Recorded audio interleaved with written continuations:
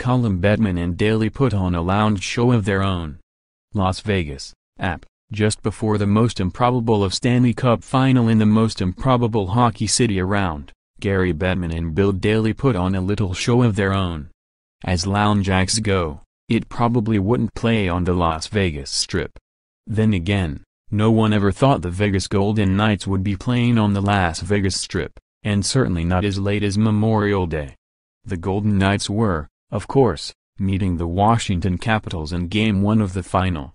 The greatest expansion team ever against a classic underachiever is already a story that has played well even among those who wouldn't think of watching anything but playoff basketball this time of the year. So as they sat in front of the media Monday, the NHL commissioner and his deputy had a few laughs, and shared a few inside jokes. They completed each other's sentences, and seemed to be having so much fun that they didn't want to leave. And why not? They could have taken a victory lap outside the T-Mobile Arena and no one would have seemed to mind. They are the architects of NHL expansion, the gatekeepers who decide which cities are in the league and which cities must watch from the sidelines. They came up with the plan, hatched privately a decade ago, for billionaire Bill Foley to pay $500 million to put a team among the gamblers, degenerates and, yes, upstanding citizens of the city where fun never stops. They then made sure it would work, despite all the naysayers who said hockey would never catch on in the desert and certainly not in a city where there are a lot of other things to do than watch hockey players race up and down the ice. But even the top league execs didn't expect this. No one saw this coming, Bettman said. They didn't in New York, and they didn't in Las Vegas. A generous expansion draft helped set the Knights up to be competitive, but competitive doesn't mean scoring 109 points in the regular season and then going 12-3 in the playoffs. Competitive doesn't mean taking the ice on Memorial Day with nearly 19,000 crazed Knights fans cheering them on inside the arena on the strip and thousands more partying as the game unfolded on big screen TVs outside. It was, as Bettman pointed out, 342 days since the expansion draft in the same arena.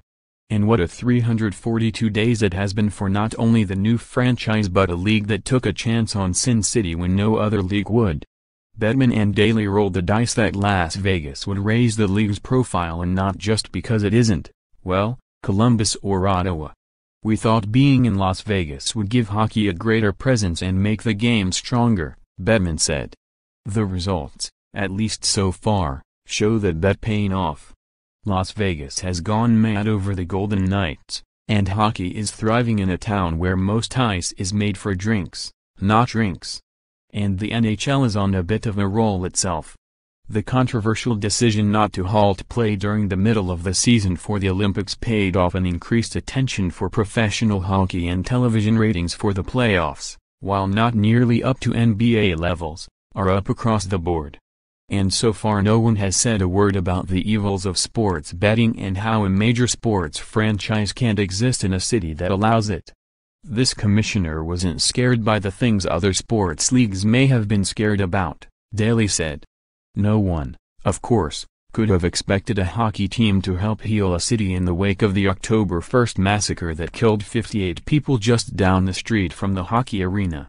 But the Knights helped that cause, too adopting the Vegas Strong name and honoring victims not only at the opener nine days after the shooting but at games since. The players, who call themselves the Golden Misfits, have also done their part, both on and off the ice. They seem to be playing with the emotion of a higher purpose, Bettman said. That's one reason why the bookies had them favored to beat the Caps and win the iconic trophy before the first puck dropped in Game 1. So far they've not only run through every obstacle in their way, but smashed through them. Good times in Las Vegas, and good times for the NHL.